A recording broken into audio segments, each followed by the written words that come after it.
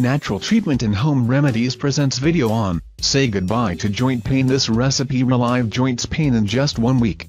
Today we are going to reveal a natural way to quickly relieve pain and strengthen bones. This incredible drink is the perfect solution for all those suffering from pain in the back, legs, neck or wrists. Gelatin is high in several amino acids, including glycine, which may be difficult to find in other foods. Gelatin will help eliminate pain in joints, legs, neck and back in just 7 days, and will significantly improve your condition, as it restores the natural lubrication of the joints.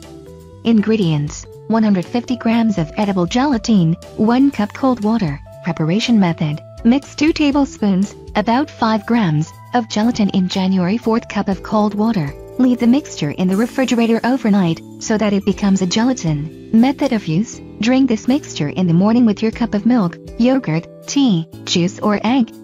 It is recommended to consume the recipe for a period of one month, so that the results are very effective.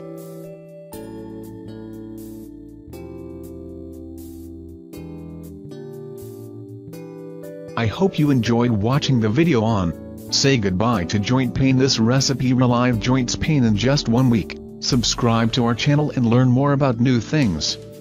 Thanks for watching video, subscribe, comments, likes and share. Thanks.